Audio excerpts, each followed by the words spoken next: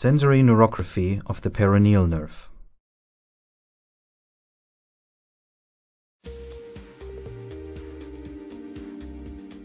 The measurement of the sensory nerve conduction velocity on the peroneal nerve is shown here in the form of the antidromic technique. Taking a recording via the orthodromic technique is also possible. The recording takes place on the central dorsum of the foot between the first and the second toe. The ground electrode is attached between the stimulation and recording electrode.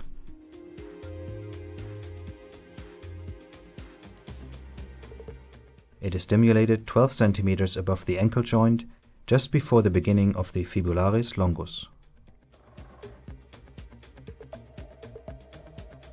Alternatively, a bar electrode can be used for recording.